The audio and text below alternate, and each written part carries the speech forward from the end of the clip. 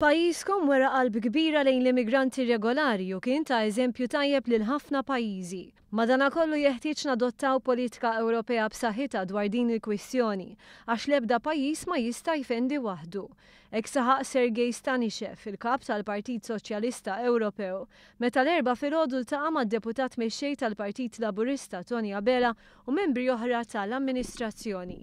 Dwar il-Valletta Summit, Stanišev jittama li jkun hemm diskussjoni serja. Żied li minkejja li l-Unjoni Ewropea taħdem favur in-nies, tidher li mhix b'saħħitha fejn tidħol l-immigrazzjoni irregolari. Waqt il-laqgħa Stanišev faħħar ukoll lill-Partit Laburista hekk kif iddeskrivih bħala wieħed b'saħħtu. Irrimarka li kien impressjonat bl-organizzazzjoni u l-kapaċità tiegħu.